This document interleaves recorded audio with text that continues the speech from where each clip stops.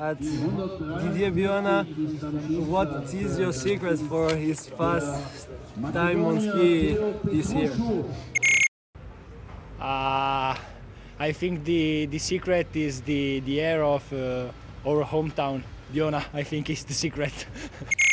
Yeah, Tiril Eckhoff, how did you train when you were younger? Oh, how did I train when I was younger? I trained uh, not so much, but with the high quality. I tried to uh, have good uh, sessions. I tried to work with my technique. I tried to have a mission with everything I do. So uh, uh, I think that was my uh, my key to success. I would ask Lovro Planko how is he so fast. I actually know this guy and he asked me how I'm so fast. I wouldn't even say that I'm really, really fast, but I train a lot. I love what I do, and I think that's the key to have fun and uh, yeah, just have fun, enjoy the skis, and uh, don't be afraid of the track.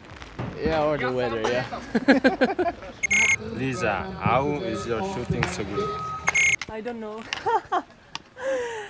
the shooting is not uh, always easy, but uh, you have to find the balance uh, for the bad day and the good day, and uh, uh, try to reset the bad day and uh, have a positive feeling. And it.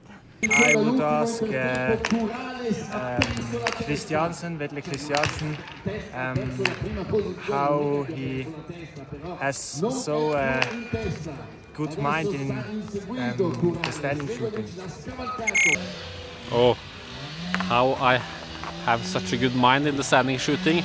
I don't know if I'm the right uh, one to to answer that after last weekend, but uh, yeah, for sure it goes uh, up and down, and you will never be perfect. So uh, that's like my mindset that you have nothing to lose. Uh, if you do a mistake, it doesn't matter. You try again next week and the next competition. So yeah, the most important feeling is to to feel that you have nothing to lose. It's all attack and everything you do is just a bonus.